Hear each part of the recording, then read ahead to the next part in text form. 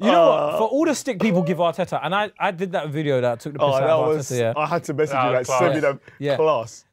But I think I think I, I do like elements of what he does. When he's like, guys, he's like, he's he's when he started drawing the heart, hugging the hand. What was you thinking? Yeah? Yeah.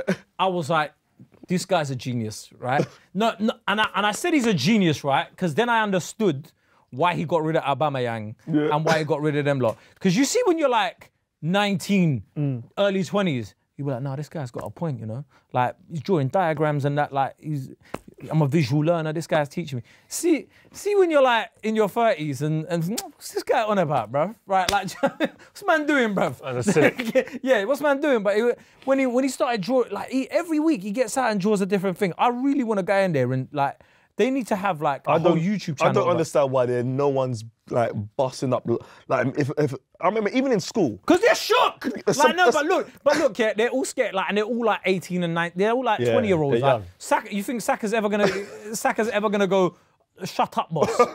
there's no way, right? Like, there's no like real. That biggest character in there is Xhaka, mm. right?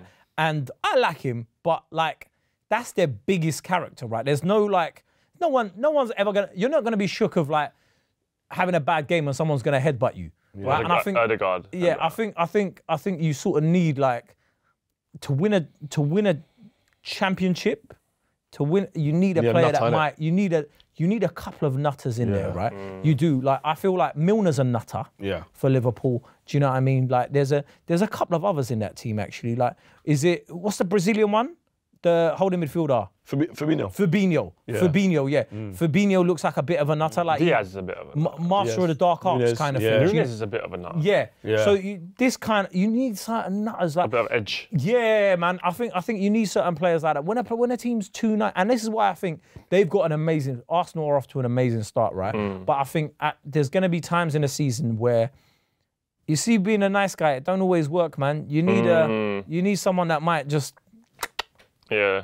you know Little Suarez. grab a little red card, like when Yeah. you see someone going in on goal. I'm sorry, but that's what you need. You need True. you need someone that can that can do those mad things, and they've only got Xhaka in it, and I don't think they're gonna.